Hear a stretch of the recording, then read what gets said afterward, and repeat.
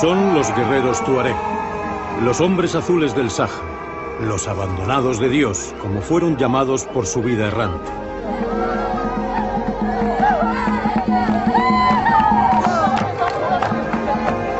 Son los nobles del desierto, los únicos capaces de desafiar su furia. Un pueblo en que la mujer domina y decide sus destinos. Un territorio calcinado donde las leyes del agua apuntalan los códigos de honor y hospitalidad. Siempre fueron temidos por su ferocidad para proteger su inhóspita tierra. Solo ellos son capaces de atravesar el yunque del sol, el desierto dentro del desierto. Sus caravanas de la sal siguen viajando por el temido Teneré. No entienden de límites ni fronteras, saben que el desierto les pertenece, que son los únicos capaces de retarlo, los verdaderos dueños de la nada.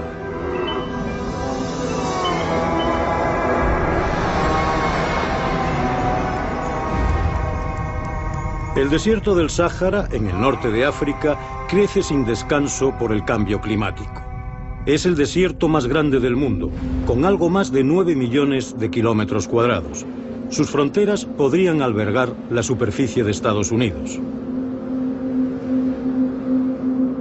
Estos territorios inhóspitos de clima extremo fueron dominados por los tuareg hasta la mitad del siglo XX, aunque en realidad siguen siendo los amos de las arenas, son los únicos que se atreven a adentrarse en sus regiones más remotas y salvajes. Las diferentes tribus tuareg habitan en los actuales países de Argelia, Libia, Níger, Malí y Burkina Faso. La llegada del dromedario, camélido de una sola joroba, supuso una verdadera revolución en el norte de África. Lo introdujeron los persas en Egipto hacia el 525 a.C. Su capacidad para almacenar agua y su fuerza para transportar hasta 200 kilos de peso hizo posible la creación de rutas comerciales que comenzaron a atravesar el Sáhara. Entre los meses de octubre y febrero es cuando parten las caravanas tuareg, como las de la sal, de la región de Lair en Níger.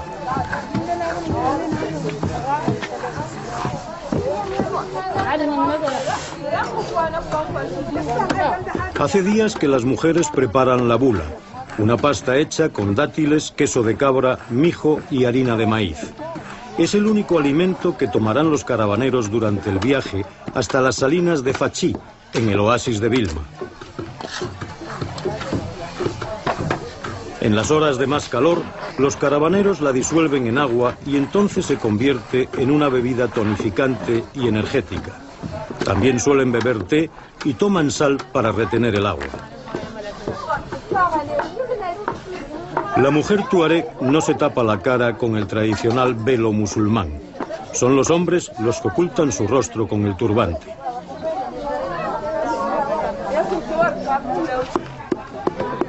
La preparación de la comida necesaria para el viaje se realiza durante la semana anterior a la salida de la caravana. Las mujeres de los caravaneros y las de sus familias se agrupan en equipos que trabajan durante todo el día en los patios de las casas. También confeccionan las esteras que transportarán las mercaderías para vender y los panes de sal que adquieran en Vilma.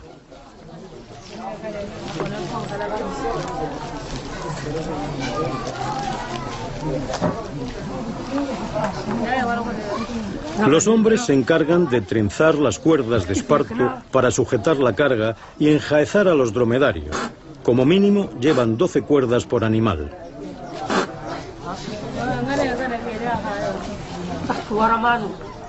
Prácticamente toda la vida del pueblo, que no esté relacionada con la salida de la caravana, se paraliza en esta semana. Todos dependen del éxito comercial del viaje. Es muy importante revisar el estado de las hierbas de piel antiguas y nuevas, donde llevarán el agua necesaria para todo el viaje. Estos depósitos, confeccionados con pieles de cabra, mantienen el agua fresca por el efecto de evaporación que provoca el viento. pero no pueden tener ningún poro por el que se derrame el líquido de la vida, y nunca mejor dicho, de la vida.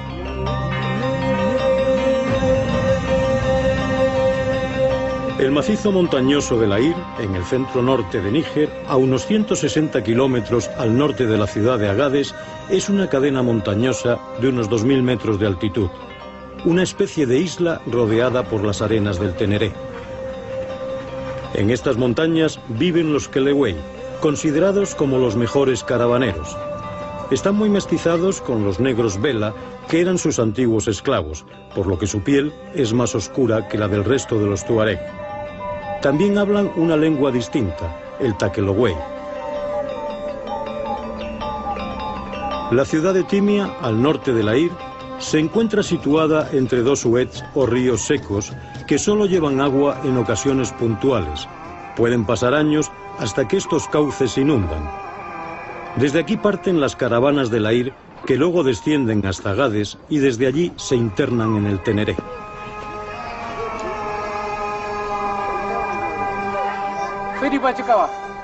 Los productos que canjean por la sal los compran en la cooperativa del pueblo. Aquí no hay pesos, se vende por puñados. Todo tiene que ser bien empaquetado. El maíz lo guardan en hierbas que van cosidas y la sémola, los tomates secos y las guindillas en sacos cerrados herméticamente. La carga tiene que ir bien asegurada. Durante el viaje podrían perderla casi sin darse cuenta al atravesar las dunas o en medio de una tormenta de arena. En el Air la tierra es muy fértil y el agua abundante. En sus huertos se cultiva casi de todo.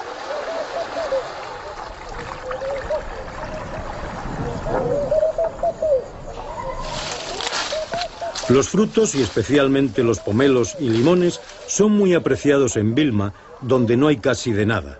Tienen un gran valor para los trueques.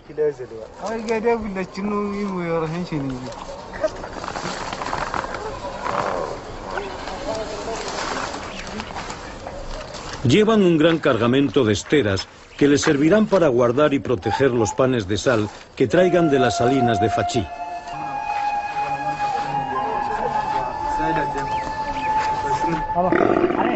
Día antes de la partida de la caravana tiene lugar la fiesta del Tende, que reúne a la gente de toda la región. Los jefes de cada clan visten de gala. Las mujeres tiñen sus turbantes con índigo, el color azul oscuro con visos cobrizos que caracteriza a los tuareg. De aquí viene el apelativo de hombres azules, el velo que les cubre el rostro les tiñe poco a poco las mejillas, los brazos y las manos.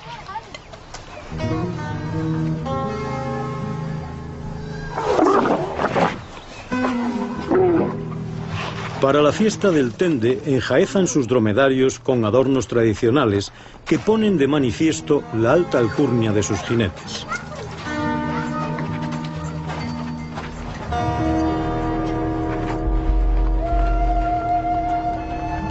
Los jefes clánicos presiden el festejo. Lucen los emblemas militares y sus griguí o amuletos de cuero y plata, pequeñas cajitas que contienen oraciones del Corán. Esperan la llegada de los jinetes con sus dromedarios mearis de pelo blanco. Las mujeres entonan el sacrit, un grito tradicional que ejecutan batiendo la lengua y que expresa el deseo de buena suerte para los que se van a marchar.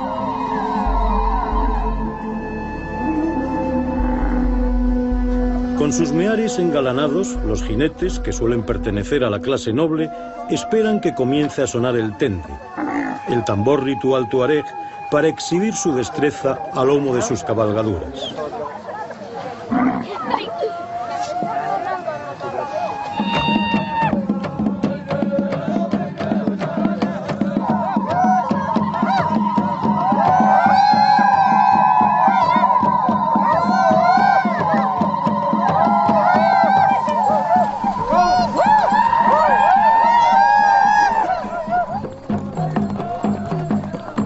Entre carrera y carrera rodean a los músicos que entonan canciones épicas que ensalzan las gestas de los valientes guerreros tuareg.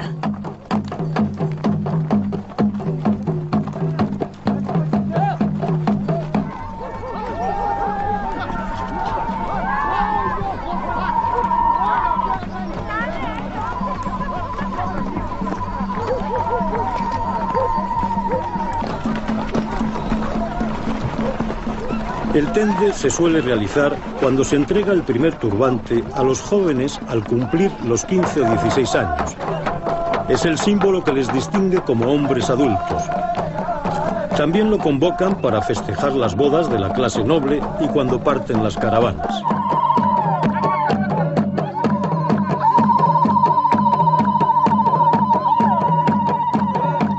El momento álgido de la fiesta es cuando los jefes clánicos bailan al son del tende, enarbolando sus diferentes estandartes.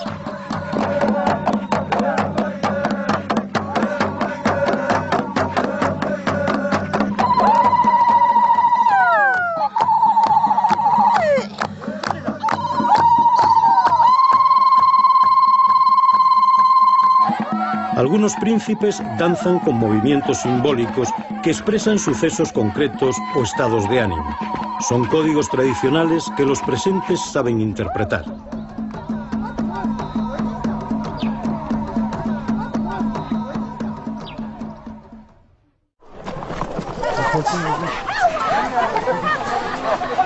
A la mañana siguiente cargan los dromedarios siguiendo las instrucciones del Madugú, el guía de la caravana. A partir de ahora, todo se hará bajo su supervisión. Los madubú son muy importantes. Gracias a ellos, las caravanas pueden viajar por el desierto. Conocen el mapa celeste del Sáhara y saben orientarse tanto de noche como de día. Sus conocimientos son heredados de generación en generación.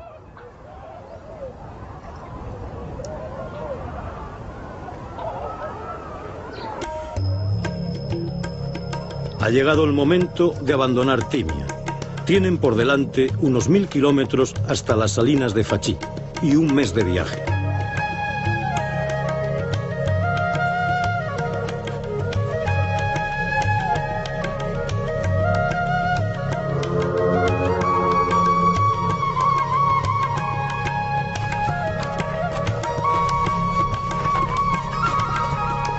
Antes de salir de la isla, cargan la hierba necesaria para que coman los dromedarios durante el viaje de ida y de vuelta, dado que en el oasis de Vilma no crece la hierba.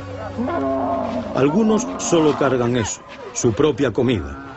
Los madugú suelen parar en esta zona de Uelec porque aseguran que aquí crece la hierba más resistente a las temperaturas del desierto.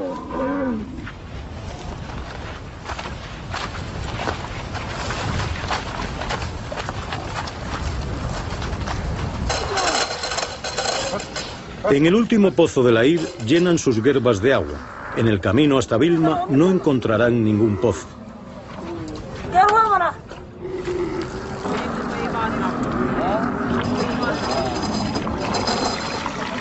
Todos cooperan en esta labor. Es de suma importancia que las guerbas se llenen a su justa medida. Luego tienen que cerrarlas y sellarlas con resina para que no se pierda ni una sola gota.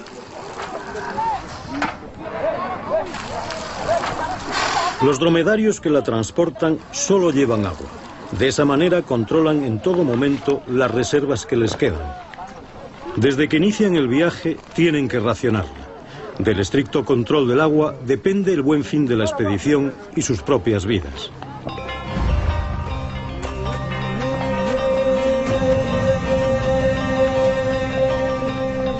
Ya están en marcha. Lentamente descienden hacia el Teneré.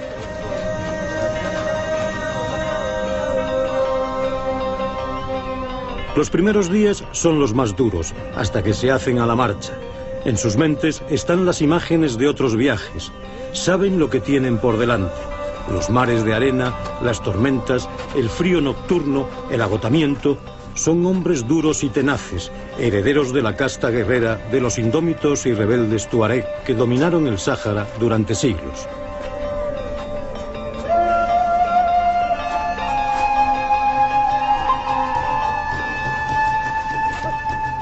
Todas las caravanas de la IR pasan por las rocas de Davos. Este es un lugar mágico para ellos, que les protegerá y les dará suerte en el viaje. Los petroglifos que representan jirafas, antílopes, cebúes, avestruces y otros animales los dibujó el hombre que habitó en esta región hace unos 10.000 años, antes de que fuese desértica. La leyenda tuareg cuenta que fue un héroe mítico llamado Anigurán el que los grabó en la roca.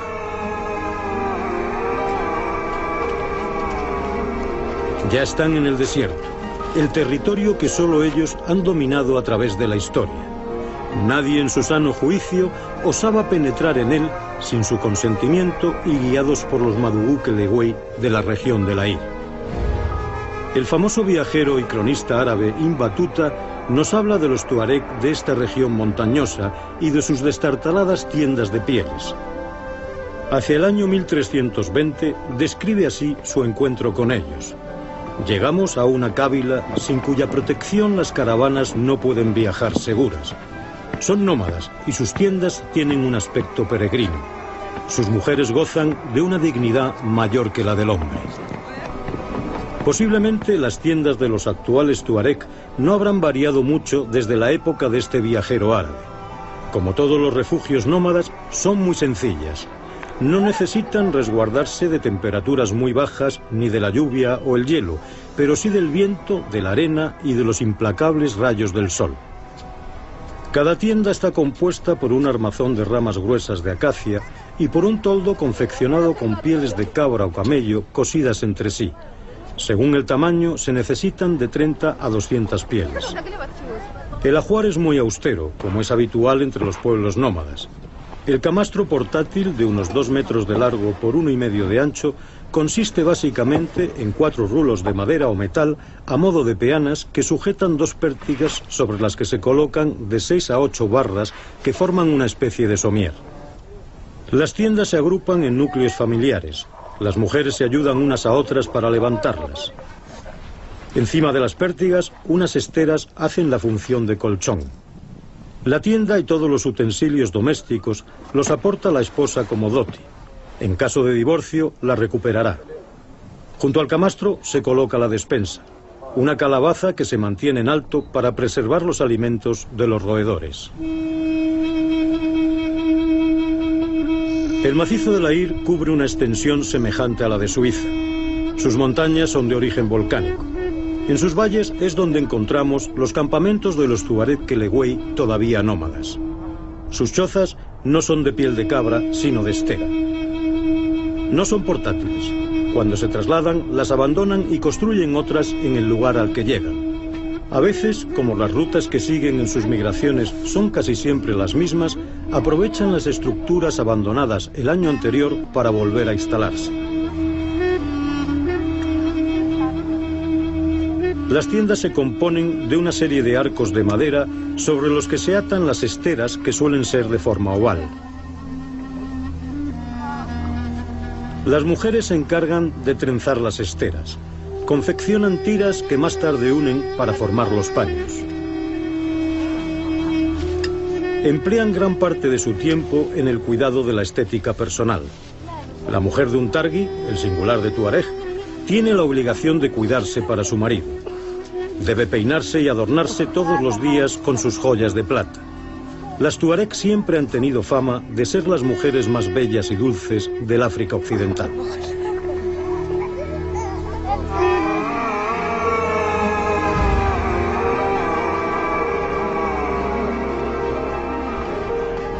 La caravana que salió de la Ir se acerca a las puertas del Teneré, el desierto dentro del desierto.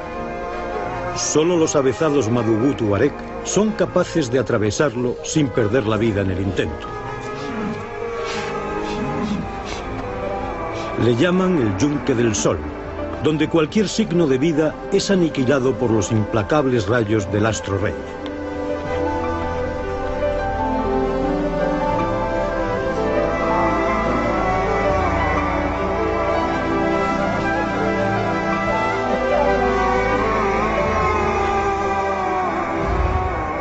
Finales del siglo XVIII comienza la exploración del Sáhara por parte de los viajeros occidentales. Muchos de ellos eran jóvenes de familias acomodadas. La mayoría murieron en los encuentros con los feroces tuareg. En 1788, con la fundación en Londres de la Asociación para la Promoción del Descubrimiento de las Regiones Interiores de África, se intensifican las expediciones. Los tuareg les cobran una tasa por permitirles el paso. Los que no se sometían a este impuesto eran desvalijados y asesinados.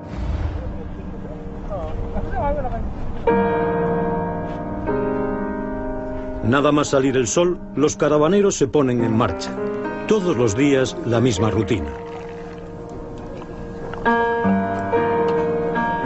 Tardan casi dos horas en volver a cargar los dromedarios y comer lo suficiente para aguantar la marcha. Hasta que vuelvan a acampar, a la puesta de sol, no volverán a ingerir nada, tan solo la ración diaria de agua. En estos parajes murieron muchos exploradores occidentales que buscaban la desembocadura del río Níger, uno de los mitos del África del siglo XIX, como el de la ciudad de Tombuctú, que se la suponía rebosante de oro y riquezas. Tombuctú fue dominada durante mucho tiempo por los tuareg, los cuales no permitían la entrada a nadie ajeno a ellos. Algunos occidentales se empeñaron en ser los primeros en pisar la supuesta ciudad del oro. Lo consiguió Alexander Lyne el 13 de agosto de 1826. Seis meses después murió asesinado, al igual que el explorador Clapperton. El primer francés que llegó fue René Cailly, que en su posterior relato deshizo el mito de Tombuctú al encontrarse una ciudad a la que calificó de agonizante, de casas destartaladas y carente de toda riqueza.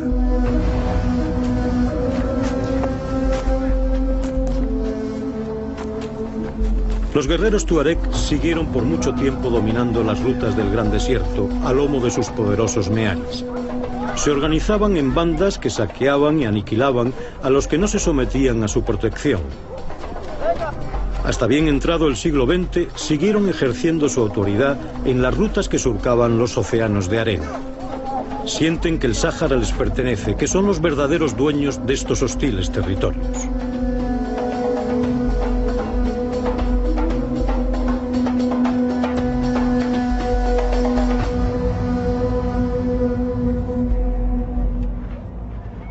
El sultán Hansata, uno de los líderes de la rebelión tuareg en el Air, hoy se reúne con sus súbditos. Desde que las potencias colonizadoras europeas se repartieron el mapa de África, con sus fronteras trazadas a Escuadra y Cartabón, los tuareg están en constante rebeldía, especialmente en Malí y en Níger. Son líneas imaginarias, fronteras que se difuminan en las dunas del Sáhara en constante movimiento. Los tuareg no entienden de límites ni de estados. Ellos son de la tierra y la tierra no tiene barreras. En estas audiencias se deciden acciones importantes. Se gesta la resistencia a aceptar lo que se decide a miles de kilómetros de ellos y siempre en función de los recursos naturales que se descubren en sus tierras. Un targui jamás aceptará que le pongan cercas y tapias a su casa, que no pueda viajar libremente por donde ellos solo lo saben hacer. Su voluntad es tan pétrea como las rosas del desierto que se cristalizan en sus dunas. Es muy improbable que algún día se dobleguen y admitan que son un pueblo desheredado. Prefieren seguir siendo los abandonados de Dios.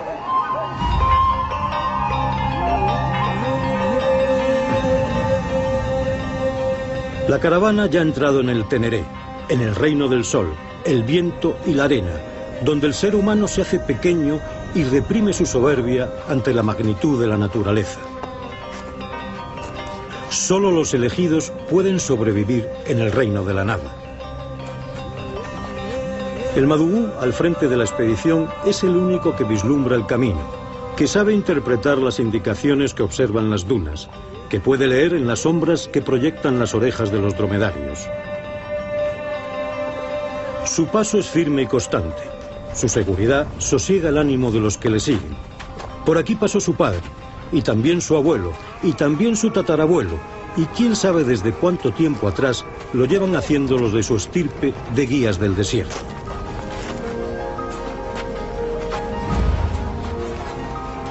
A veces las pequeñas caravanas se unen en Agades para realizar el viaje juntas y así ir más protegidas.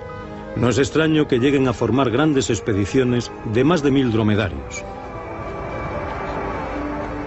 Cuentan que en 1988 llegó hasta Vilma una caravana con más de 20.000 dromedarios. Los madugú se turnan en llevar la cabeza de estas enormes caravanas, aunque las decisiones importantes las toma el de mayor edad. Cada día recorren entre 40 y 50 kilómetros, a razón de unas 14 a 16 horas de marcha. Nuestra caravana es como un pequeño transatlántico que surca ahora el mar de la desolación del Teneré. Más de 400.000 kilómetros cuadrados de arena, donde en verano se alcanzan los 50 grados de temperatura y donde prácticamente no existe la vida. En esta zona no son frecuentes los asaltos, pero los tuareg siempre van armados y preparados para defenderse con las tacubas, sus espadas tradicionales. Las fabrican los herreros que gozan de un estatus muy elevado en la escala social. Aparte de fabricar las espadas tacubas, dagas y machetes, producen herramientas con las que la gente puede trabajar los campos de cultivo y joyas de plata como las cruces tuareg. En África siempre han estado muy considerados. Los pueblos que tenían buenos forjadores tenían mejores armas.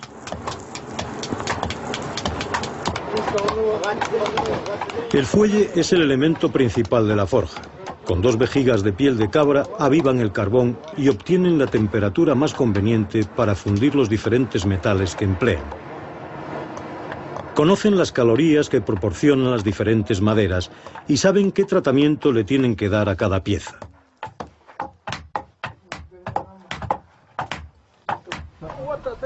La tacuba, de origen bereber, es utilizada hoy entre las tribus tuareg de Níger, Malí, Burkina Faso, Argelia, Libia y Mauritania. Tiene doble hoja y una longitud entre 74 y 84 centímetros.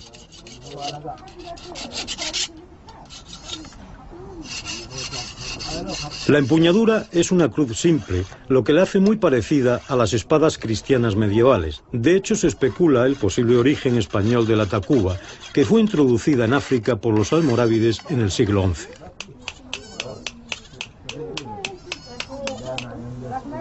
Un targui jamás viaja sin su tacuba. Es un símbolo de estirpe, como su turbante. Las fundas con las que se protegen las espadas se realizan en piel de vaca y suelen estar muy decoradas.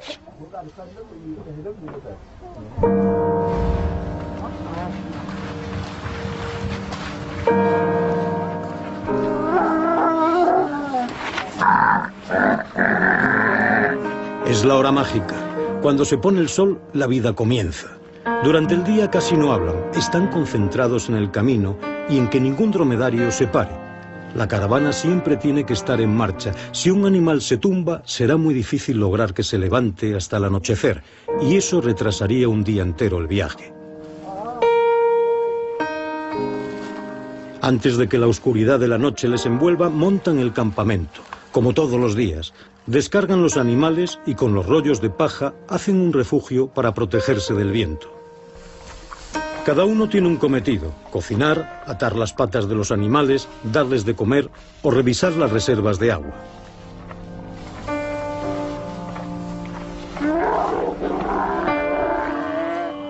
Ordeñan a las camellas para beber su leche, a la que atribuyen infinidad de propiedades alimenticias e incluso mágicas.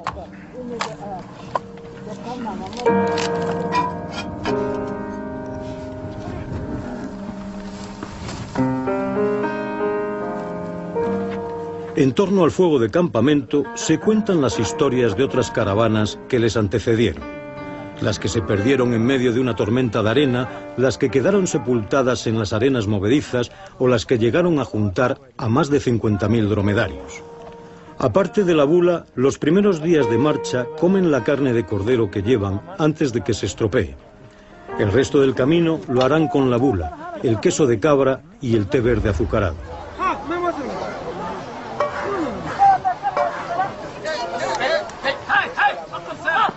La dieta tuareg está basada principalmente en el cordero, que lo suelen cocinar con arroz. las tortas de pan de trigo y los productos lácteos derivados de la leche de cabra, como los quesos y la mantequilla.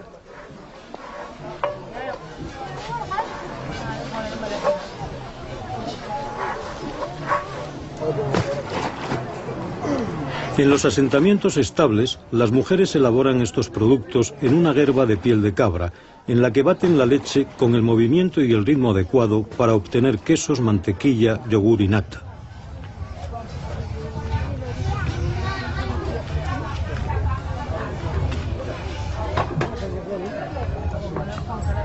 En este clima extremo los derivados de la leche tienen que ser consumidos muy pronto. No tienen la posibilidad de poder conservarlos en buen estado durante muchos días.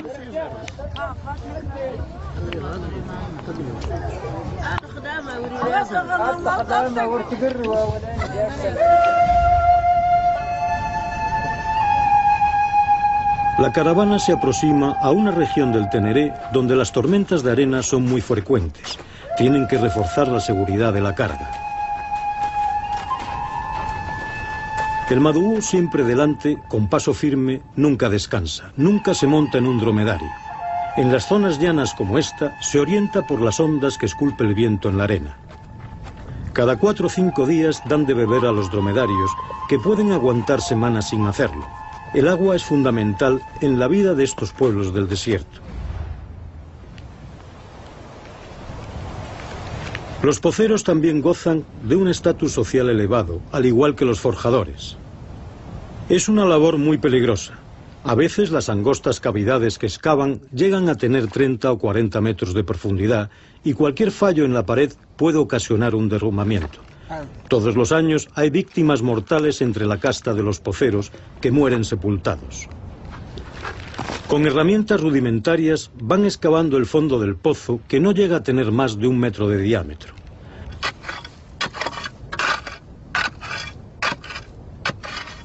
Hay zonas de la IR donde se realizan excavaciones todos los años.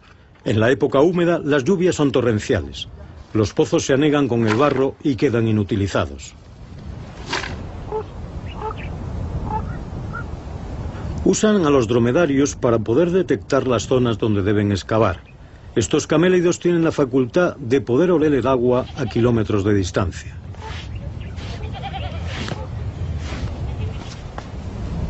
No todos los pozos son grandes y permanentes.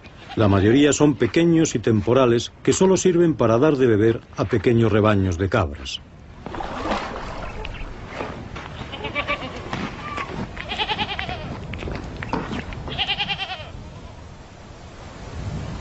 En el Air hay buenos pastos.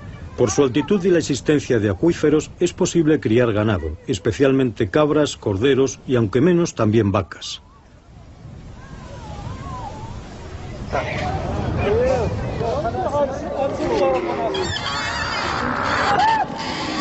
Cada clan tiene sus propios pozos, por los que cobra un tributo a los pastores de otros linajes o de otras tribus, como los Pels, que habitan en la misma región, pero la ley tradicional tuareg no permite cobrar ningún tributo por dar de beber a un hombre. Es más, negarle el agua a un sediento siempre ha sido castigado con la pena de muerte. Desde el amanecer, los pastores van llegando a los pozos con el ganado desde las zonas de pasto. Todos los días del año tiene lugar el mismo proceso para dar de beber a los animales.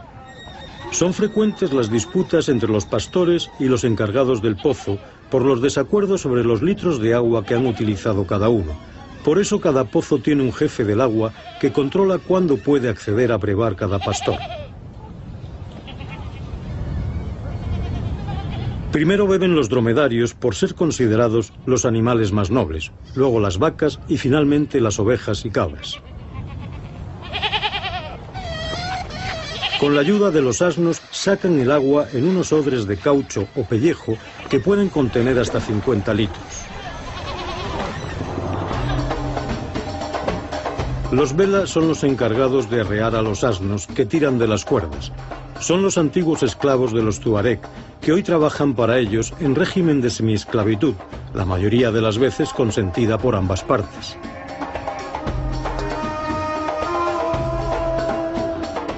Estos esclavos procedentes de diferentes tribus de África Negra han adquirido los usos y costumbres de sus amos. Muchos están considerados como auténticos tuareg. Los tuareg dominan sobre otros grupos étnicos que habitan las mismas regiones que ellos, como los pels, que viven de sus grandes rebaños de bueyes, la mayoría de propiedad tuareg.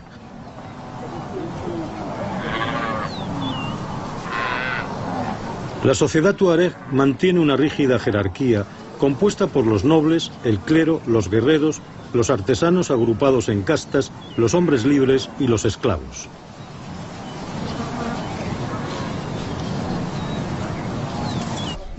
Mantienen relaciones comerciales con otros grupos como los Hausa o los Yermas, con los que intercambian productos como la sal por excedentes de grano.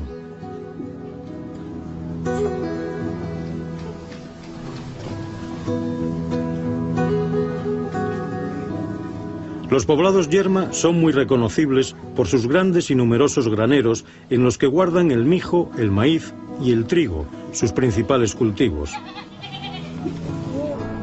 Es la frontera divisoria entre el Sáhara y el África tropical, entre el África blanca y el África negra. Es la franja del Sahel, la región de transición que albergó a los grandes reinos africanos como el Songhai, del que se desprenden los pueblos como el Yerma.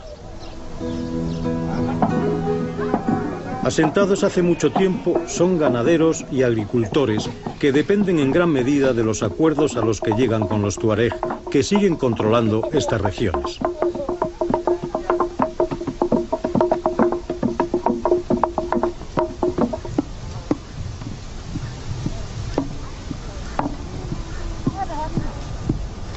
Estamos en las proximidades del mítico río Níger, objetivo de tantas expediciones de finales del siglo XIX, en especial las que realizara el escocés Mungo Parr para descubrir su desembocadura.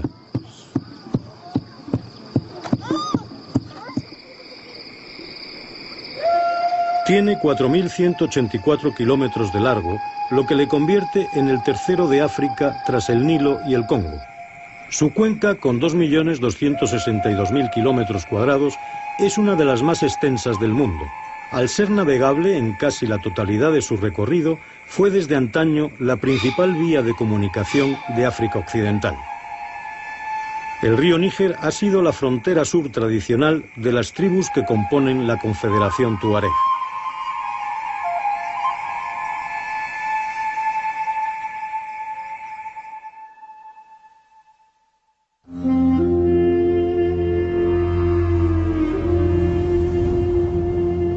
Los feroces vientos huracanados del desierto originan las tormentas de arena, un fenómeno meteorológico que levanta la capa superior del suelo en los grandes erg o cadenas de dunas del Sáhara.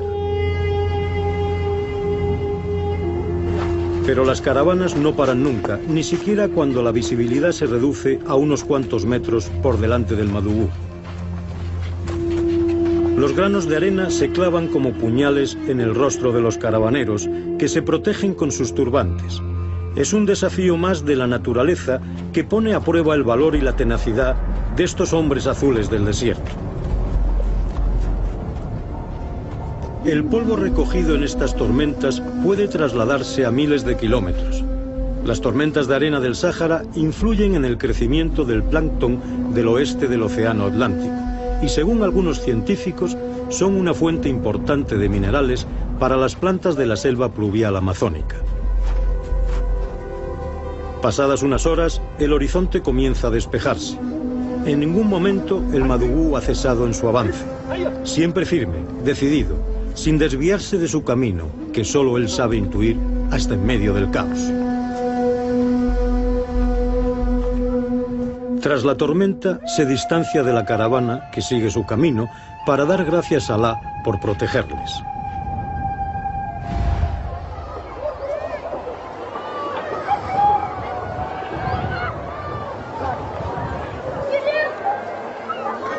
Los tuareg son musulmanes. Desde pequeño aprenden a leer el libro sagrado con los maestros del pueblo. Pasan las horas recitando los versos del Corán que el maestro les escribe en sus tablillas de aprendizaje. Cada niño tiene que memorizar cada una de las 114 suras o capítulos que contiene el Corán y saber interpretarlas con las explicaciones que reciben del marabú. Aunque musulmanes, los tuaregs sincretizan las enseñanzas del Corán con las creencias mágicas de la tradición africana. Sus mujeres no se cubren la cara con el velo, tan solo el pelo. Son los hombres los que no muestran su rostro, siempre envuelto en su turbante. Practican la monogamia. Acuden a la mezquita todos los viernes y rezan sus oraciones diarias estén donde estén. Pero se permiten licencias que les distinguen de los demás musulmanes, como la creencia en los espíritus, la brujería y sus sortilegios.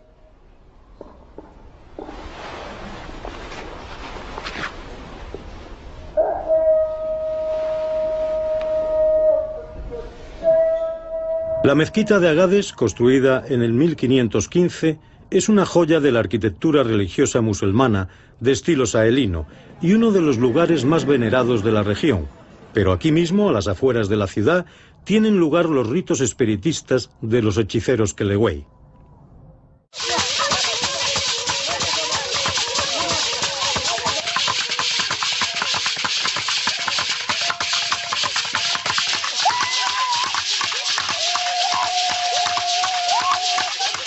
La música de percusión, los bailes y el ritmo crean un ambiente propicio para las posesiones, los trances visionarios y el éxtasis.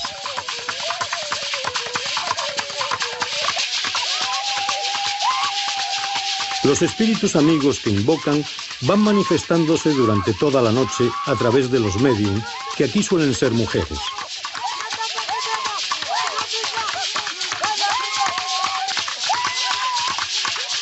Transmiten remedios medicinales, dictan castigos y deberes y exorcizan a todos los participantes. Limpian a todos los que se sienten afectados por la influencia de algún conjuro. Es la manifestación del África preislámica de profundo calado en estos pueblos.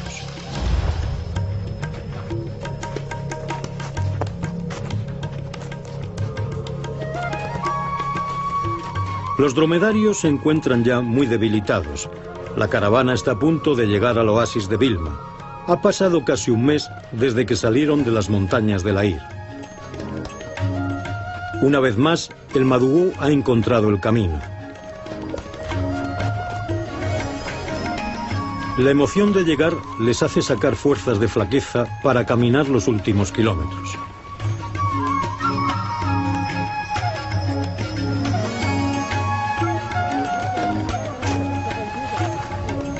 Ya divisan el palmeral del oasis de Vilma.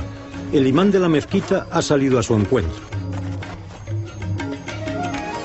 En sus rostros se aprecia el esfuerzo realizado. Sus miradas serenas contemplan el final del sufrimiento. Vuelven a ver el color verde de la vida. El verde de las palmeras les hace escuchar el sinuoso ruido del agua Estarán aquí una semana mientras hacen sus negocios y se recuperan los animales para iniciar el camino de regreso.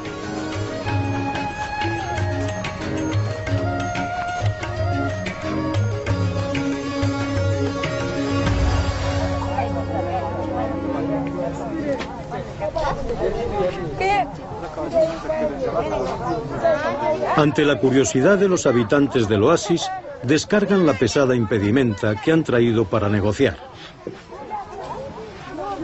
Unos preparan las esteras para empaquetar los panes de sal que van a comprar. Los demás colocan los puestos para vender su mercadería.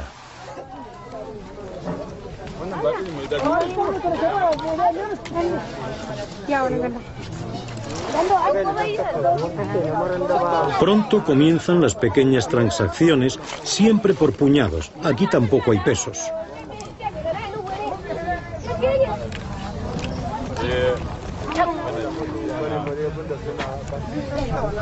Los panes de sal que va trayendo la gente son empaquetados cuidadosamente en las esteras entre paja. Son muy frágiles y si se rompen los venderán a mitad de precio a su llegada. Las mujeres son las que se dedican a negociar con los mercaderes.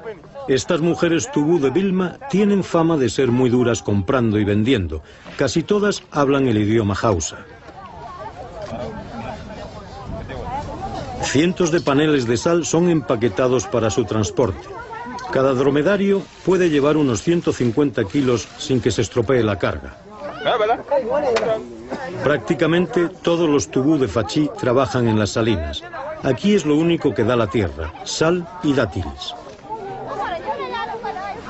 Las caravanas Tuareg siguen siendo el único nexo de conexión que tienen con el exterior. Por eso la llegada de una caravana es tan importante para ellos.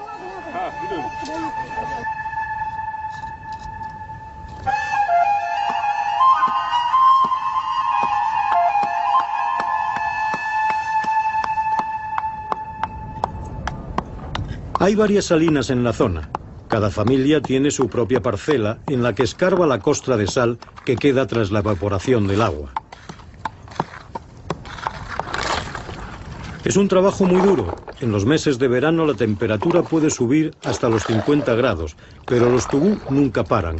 Es el único recurso que tienen para vivir.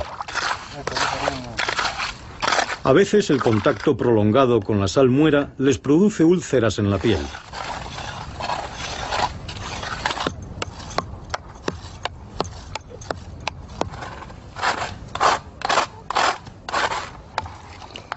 Muelen las placas de sal para mezclarlas con tierra húmeda y confeccionar los panes que se utilizan para el ganado.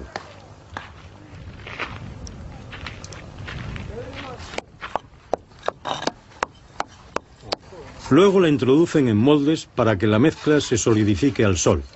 Son las medidas establecidas para comercializarla.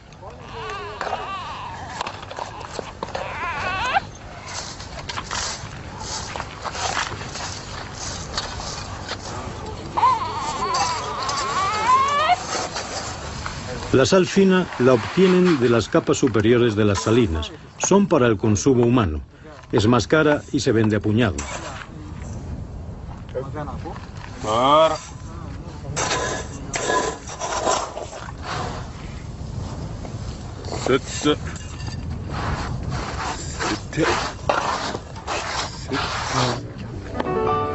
Una vez terminadas las transacciones comerciales, los caravaneros comienzan a organizar su regreso. Los dromedarios parecen saber lo que les espera y protestan al ser cargados de nuevo.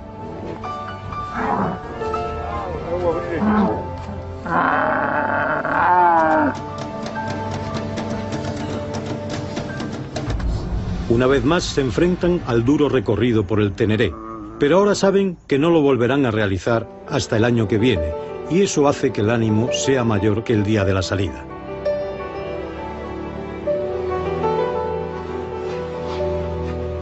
Los caravaneros de la IR crían una raza especial de dromedarios, el acerraz.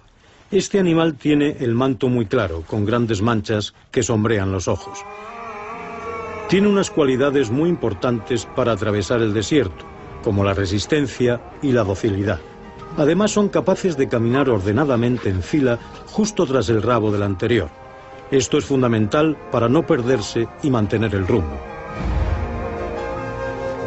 Cuando las colonias saharianas se independizaron de Francia, los nuevos estados se enfrentaron a las demandas de diferentes grupos tuareg sobre autonomía y restitución de tierras. Sin embargo, la necesidad oficial de explotar los importantes yacimientos de petróleo, oro y uranio de esas tierras dieron lugar a batallas y persecuciones.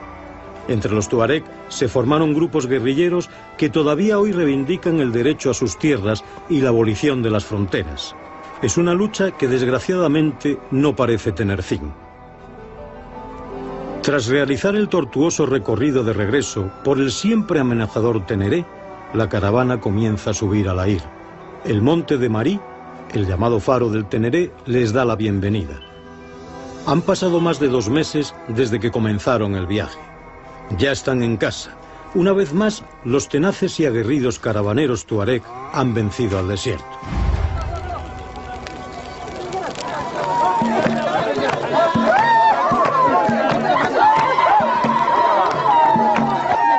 En la pequeña ciudad de Timia se vuelve a convocar el tente. Los hombres han regresado con éxito. No se ha perdido ningún dromedario. La carga ha viajado sin percances.